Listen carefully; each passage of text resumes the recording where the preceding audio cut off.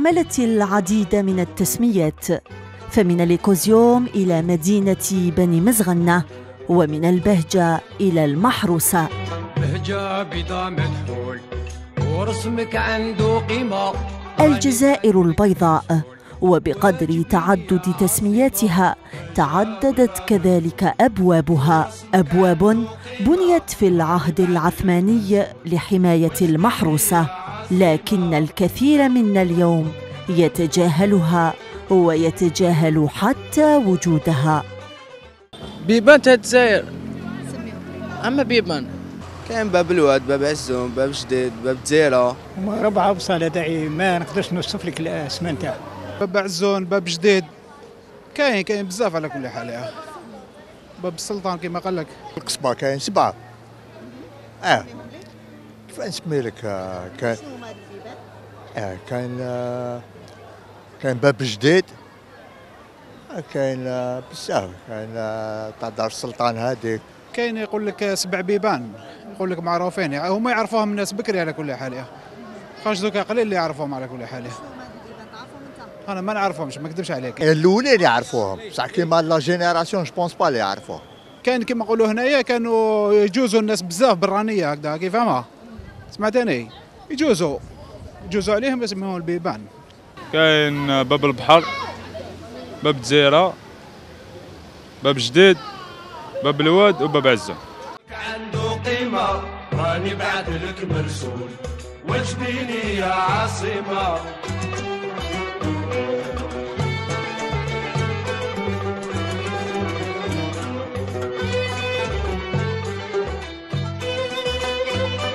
الجزائريون اختلفت آراؤهم حول العدد الحقيقي لأبواب المحروسة. البعض يقول إن هناك خمسة أبواب. في وقت يرى آخرون أن سبعة أبواب تحرس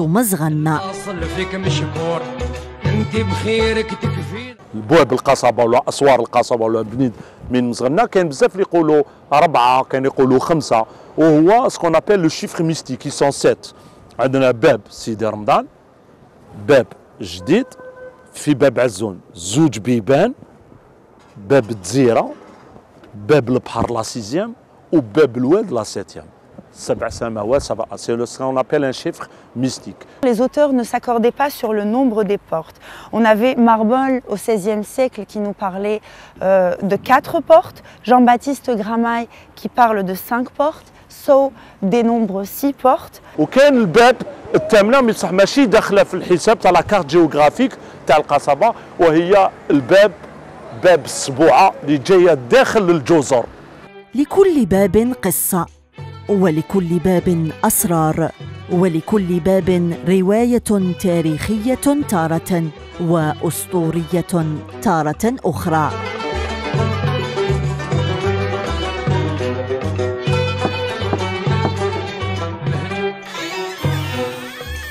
في أعالي القصبة يوجد باب سيدي رمضان. نسبة للولي الصالح سيدي رمضان. باب بني في القرن التاسع. ليكون بذلك أقدم أبواب المحروسة. استبدلت تسمياته بعد الغزو الفرنسي ولم يبق منه اليوم سوى هذه الأسوار المنهارة. رانا في القصر ce qu'on appelle القصبة القديمة. وفي هذه المدينة اللي كان أقدم مسجد اللي هو مسجد سيدي رمضان اللي جاي في la rue سيدي رمضان.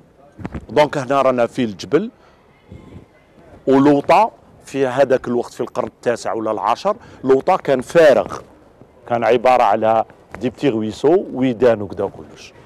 هذه القصبة تاع سيدي رمضان اللي كانوا يسكنوا فيها في القرن التاسع والعاشر العرش بني مزغنة وسموها حتى مدينة بني مزغنة نظرا للسكان اللي كانوا فيها كانت فيها أسوار وباب اللي هي من الأبواب اللي راح نتكلموا عليها اللي هي باب سيدي رمضان سموها نظرا للوالي الصالح في العهد الفرنسي كان يسموها باب القطار. بعد ما دخل 14 جوان لو 5 جوي دخل قصبة ان لاندي بالاثنين طاح سبحان الله العظيم طاحت بالاثنين 1005 جوية 1830 دخلوا فرنسا سموها كان يسموها باب الصور.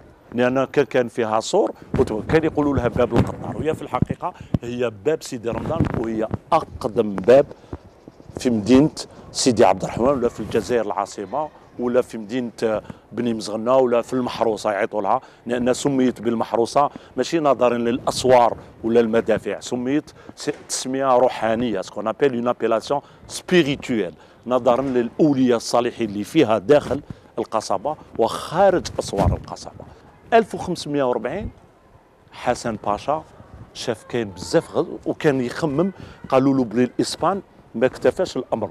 حوزوكم السواحل البحر الأبيض المتوسط. حبوا يزيدوا يهدموا المدينة. قال لك مالا هاد المدينة نزيدوا نديروا لها صوار اللي يكملوا ي complète الصوار تاع سيدي رمضان. وداروها en amphithéâtre جاي شغل un triangle في دار السلطان قرأ تاريخك يا مغرور سيدي عبد الرحمن يا الوالي والزيارة. على بعد بضعة أمتار من باب سيدي رمضان أو باب القصبة نجد باب جديد وهو آخر باب تم تشييده نسبة لتسميته بالجديد. وأول باب دخل منه المستعمر الفرنسي لاحتلال المحروسة عام 1830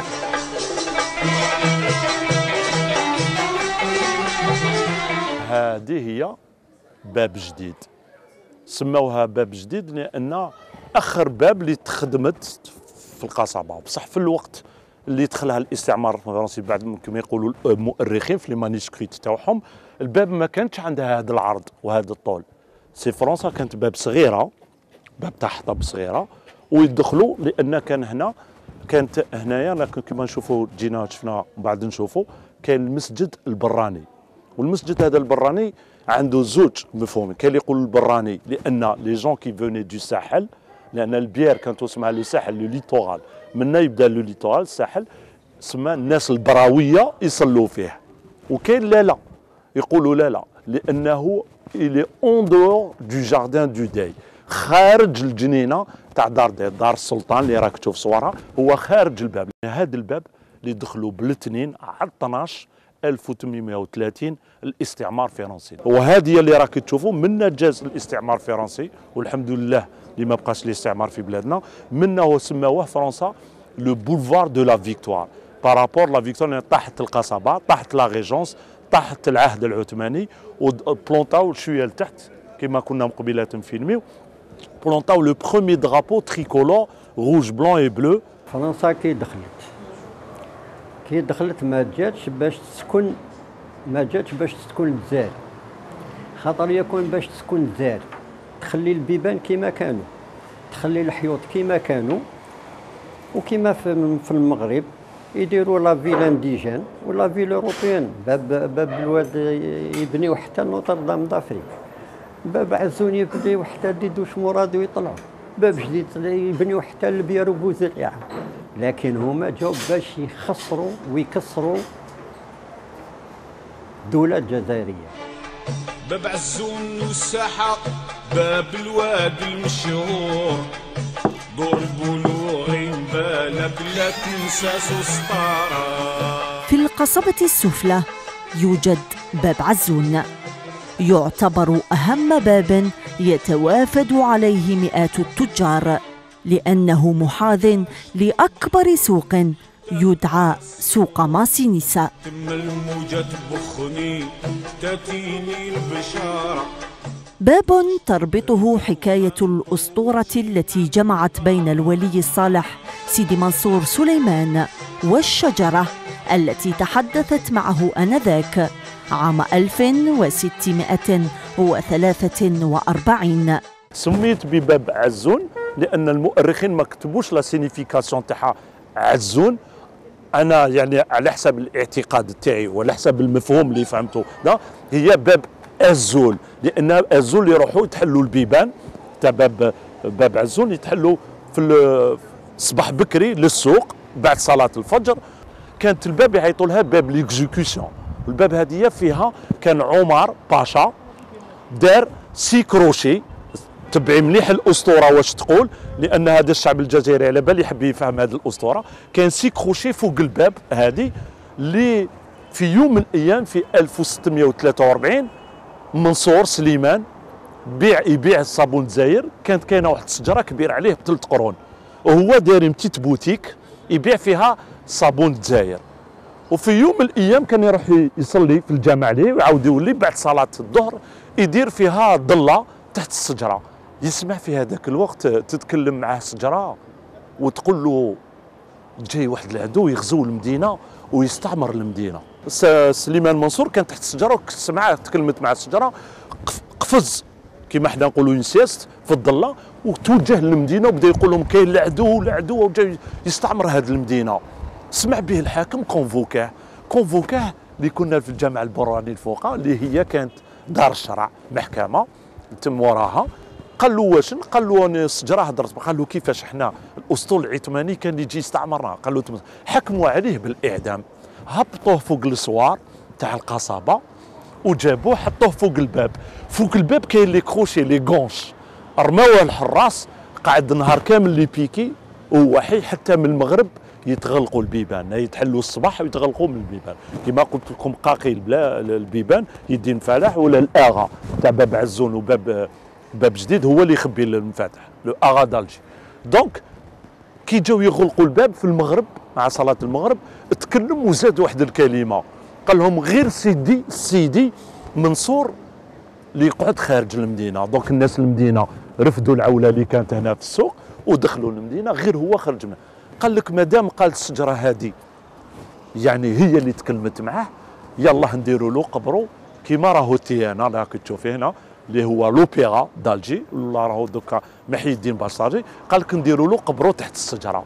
روح يا زمان 1643 تجي 1830 تدخل في فرنسا الاستعمار ويستعمروا الجزائر.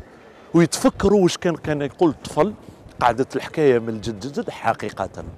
في 1853 نحاو الشجرة ونحاو القبر هما غير نحاو القبر لي زواف كانوا نطلعوه سيدي عبد الرحمن. الشجرة دبلت في دقيقتها وماتت. بعد في 1853 بداو يطلعوا. لاشيتيك بونساري شاسيو طلعوا. اولى كانت اون بوا لوبيرا اون باك في 12 مارس 1832 هذاك النهار ما كانش فيها اون كورال باسكو هنايا كانوا فيها لي شوندولي يهبطوا بالسناسل اللي يديروا الشمع كبار. ما كانت نين بياس تياترال نيكدا تحرقت. كي تحرقت راحوا سقساو الإمام. في هذاك الوقت على كل حال تقعد أسطورة. légende يقول légende شعبية. يقول لهم لأن صباح فال ماشي مليح. لوبيرا تحرقت لأن حيث ضريح ولي صالح. وحقيقة بعد سنوات ولات خطره العنقه بلا ما كان une fuite de gaz ولا d'électricité يغني حتى تشوفي في les rideaux يشعلوا النار. بوجمع العنق يتشعلوا ما عندهاش بزاف. ثاني شعلت النار بدون سبه ولهذا يقولوا في المثل الشعبي إحنا نقولوها على كل حال. التيانة كل سنوات تحرق لأن نحاول صالح بارابور الاسطوره ولا لا ليجوند واللي على شط البحر حتى القاع الصور تم الموجة تبخني تأتيني البشارة. باب الجزيرة اسم مشتق من الجزر وسمي كذلك بتزيرة نسبة لمؤسس مدينة بن مزغنة أو الدولة الزيرية بولوغين بن زيري. باب كان يستغله الصيادون بالدرجة الأولى. وهذه عاد سماوها باب الجزائر لأن سميت على الجزائر بلوغ ابن زيري وسميت على دار اللي الجزر اللي كانوا فيها اللي كانوا جازوا لي فينيسيان ولي ولي les Romains اللي هو اسمها elle est composée de deux mots إيكو زيوم إيكو l'île زيوم aux mouettes c'est l'île aux mouettes وحقيقة هاد les جزر فيهم معمرة ب les mouettes. من الباب هذه ce qu'on appelle. اللي راكم تشوفها في وقت الاتراك يقولوا الترسانه كانوا يقولوا باب باب تاع les dockers في وقت الاستعمار لأن جدودنا كاع كانوا مساكن حمالين. يروحوا يجيبوا سوردي الصباح تسيبيهم هنا يديروا لاشين. هذا مور هذا باش يجيبوا البون. باش يحملوا والعشيه يجوا طالعين بهذاك السروال الحزام الانتراك آه، آه، يطلعوا بالسروال تستيفا حزام الانتراك وفي الحزام يطلعوا الشيكولة اللي عنده مرته تحمم وعنده الخليلة تباني شاشية عروبي شاشية كرابوش زمان المراكي باسكو كاين العرايس في وسط الدار بزاف تسمى لي دوكر عندهم حزام حزام الضامه تشونغاي ويلبسوا حزام الضامه يديروا فيه مشيمشه فاش حبات تفاح المرتو حلوة حلوة لبلابي كيدخل في وسط الدار باش وحدة ما تغير على وحدة ولا والديه ولا مرتو راه يتوحم يجيب لها هذيك الحاجة سريا وهنا جدودنا كانوا كاع سيدي دوكر في البون. نعمل دارة من عيون الزرق دار البابور. سيدي مسعود غير تما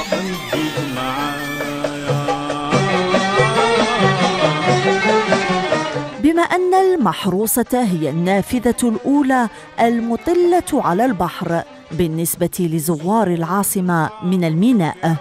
فقد تم تشييد باب آخر مقابل الأميرالية وأطلق عليه تسمية باب البحر أو ما يسمى كذلك بباب الجهاد.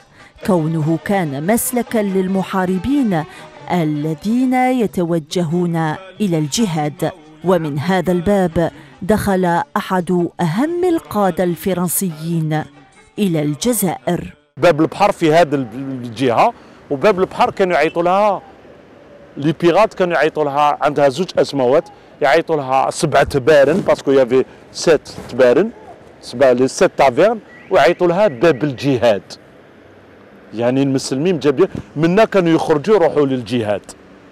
اللي هي سمتها فرنسا la porte de la France اللي طاح منها نص في 1854 ومن بعد le boulevard في 1870 اللي سموها le boulevard de la République française وسموها la porte de la France نظرا كي كان le général de Bourmont قلنا دخل على وين شفنا كيما روح علي خوجه اللي ولات l'avenue du général de Bourmont دخل عليه باب جديد يعني رفدوا le drapeau ومنا l'amiral Duperré اللي كان يشوفوا يروش لهم. حاكم قائد القوات البحرية جا منها ولهذا سموها la porte de la marine la porte de la de la France يعني لأن كان دخل منها قائد القوات اللي هو l'amiral Duperré لأن جاو ثلاث قياد جا le maréchal de Bourmont le chef ministre de la guerre, chef de l'expédition, اللي جاو هجموا وجا le général Berthezène تاع l'infanterie المشاة. ولا général تاع les forces navales يعني القوات البحريه اللي هو l'amiral Duperré voilà donc الباب كما كنا ملهي حتى لهنا كاين 700 متر ومن بعد منا في هذا الحي اللي سيدي عبد الرحمن سكن ومات سيدي عبد الرحمن بن مخلوف الجعفري ومات هنا في هذا الحي اللي ولا هذا الحي معروف ce qu'on appelle le quartier des intellectuels هذيك دار الرياض ماشي دار الرياض أنا ليا أنا التاريخ ما أنا ما نخبيش حومه سبعة تبارن تاع شطيح وردي على ال port كان الجزائر فيها كل فيها يهضروا بالإنجليزية بالرومية بالطاليانية بالمالطية c'était c'était une ville vraiment polyglotte. Le commerce était, était florissant. في ساحة الشنو هذا زينا وباب الواد في جماعة سفير القيلة خير مع السياد الباب الأخير للمحروسة هو الحي الشعبي المسمى بباب الواد. سمي نسبة للواد الذي كان يمر وسطه وهو مسلك للجهة الغربية للمحروسة.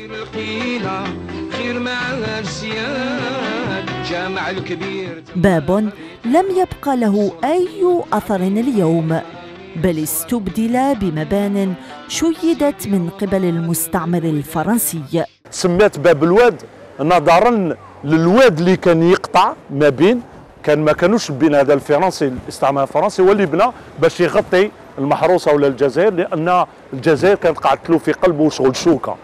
donc قال لك باش l'empire ottoman ولا العثمانيين باش ما يقعدش اسمهم تاعهم كبير نبنيو لهم عمارات أوروبية باش نغطوا مدينة القصبه كان كاين واحد الواد صغير يجي مواد المغاسل ويقطع منه ويجي هابط يعيطوا له واد المغاصل un petit ruisseau il traverse تخيل بلي كانت الباب في الوسط ويقطع هذاك الواد باب الباب يسموه واد المغاسل. وفي هذا الطريق في la rue de la fonderie في وقت العثمانيين اللي كانوا يخدموا المدافع الكبير الكبار تاع متر متر وعشرين ويقولوا بعد المؤرخ هذا ما تبتش. ملي المدفع بابا مرزوق اللي كان عنده une portée تاع 7 كيلومتر تخدم هنا وخرجوا حتى avec des bœufs بشاريطه كبيرة. وهذه البلاصة اللي راكم تشوفوها فيها مديرية الأمن وكذا هذه كانت جبانة جبانة تاع الباشوات. فرنسا واش دارت؟ نحات هاد les trucs. جبانه الباشوات ودارت فيها الطريق. خمس سنوات بعد 1846 زادوا كسروها وكبروها. وداوها وراهو الكيطاني. كنت تكلمتي لي قلتي لي عمالي الباب لأن الواد الكبير تاع واد مقصل صح يجوز وراه الفوارة. يعيطوا له بوفار كيلما جوز تماتيك حطوها حتى ل 1896 نحاو هذيك الباب. وهنا وين راكي تشوفي كان كاين برج معروف اللي هو برج يعني برج الزوبية ولا le fort de 24 heures وحتى هذه اللي راكي تشوفي الأمن كانت يعيطوا لها حبس القطوط اللي ولات لا كالزين لو بيليسي يعيطوا لها حبس القطوط لأن في المثل الشعبي يقولوا زمان رموا له قط في السروال الراجل عنده سروال عرب كي يدخل لهنا يرميوا له قط في السروال باش هكذاك ينغم يخبشوا القط وين يكون ويقولوا حبس القطوط نظرا للضيق تاعو. la caserne c'était une prison وهذا اللي الاستعمار كانوا les prisonniers اللي في هاد la caserne هما اللي بناو جنان مارانغو le colonel Marengo دارهم باش بناو لو جنينة مارانغو اللي راهي حديقة براغ وتسمى le quartier نظرا لهذا الواد الواد الكبير تاعها اللي يهبط من بوزريعة يهبط من سيدي بن جبر. القصبة ولا وليدها واللي صار يصير واللي صار وبالرغم من أن حي القصبة العتيق الذي صنف من قبل منظمة اليونسكو كموقع للتراث العالمي مهمش من قبل الكثيرين إلا أن الطالبة نهلة المتخرجة من معهد الفنون الجميلة اهتمت بهذا الكنز. وكتبت رسالة مذكراتها حول أبواب المحروسة J'ai effectué un travail de recherche sur les portes d'Alger intitulé euh, Les sept portes de la Casbah, dialogue entre euh, patrimoine et art contemporain. L'idée était de faire d'abord un travail de recherche sur ce périmètre de la Casbah d'Alger, puisqu'évidemment les portes de la Casbah ne donnaient accès qu'à ce haut lieu euh, de la mémoire algérienne et de l'identité algérienne. La recherche m'a conduit parce que j'ai fait un sondage sur Internet et il y a eu euh, plus de 150 personnes qui ont joué le jeu et qui ont répondu à, mes questions, euh, qui consistait à demander au public, au grand public, ce qu'il pensait d'exposer des œuvres contemporaines à l'intérieur de la Casbah ou dans son périmètre. Et il y a effectivement une, euh, très grande positivité de la part euh, du grand public concernant l'introduction d'œuvres d'art, d'art plastique bien sûr, euh, mais également de musique, de théâtre, de théâtre de rue. de peinture, d'artisanat également, puisqu'il y a une véritable richesse qui se trouve dans ce lieu.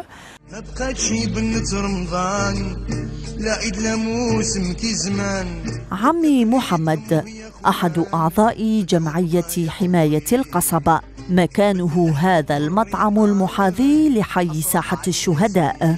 مكان يجعله يسترجع ذكرياته مع المحروسة التي باتت اليوم عرضة للتهميش والخطر. الناس اللي حاكمين ما يعرفوش ما يعرفوش تاريخ تاع بلادهم. فهمتي؟ كاين اللي يحوس على المادة كاين اللي يحوس على هذا l'or la plus grande richesse c'est notre passé c'est notre patrimoine ها واللي ما يست... اللي ما يستحفظش على ال patrimoine تاعهم. واش يكون؟ وراهم العيون اللي كانوا وراه المحنة اللي كانت. على بال كان في ذاك الوقت كان اللي يحب يدير الخير. ولا عنده بزاف دراهم يدير جامع ولا ما عندوش بزاف يدير عين باش الناس تشرب ولا ما عندوش بزاف يدير قلة ولا يدير آه، على الباب تاعو باش الناس كي تجوز تشرب وترحم عليه. هذه حاجة تربية. ال cimetière تاع اليهود تاع لا ريمونتين محاوه. ال cimetière اللي كانوا قواد نحاوه ال cimetière تاع الانجليز باش داروا la la- باش داروا la grande poste نحاوه جامع ال cimetière تاع بني مزاب la hauteur تاع la rue Tanger محاوه الطلعه تاع la rue Dumont d'Urville اللي راهو لوبيرا محاوه مح- ما خلاو حتى حاجة باش يبنيو وحنا ناسيين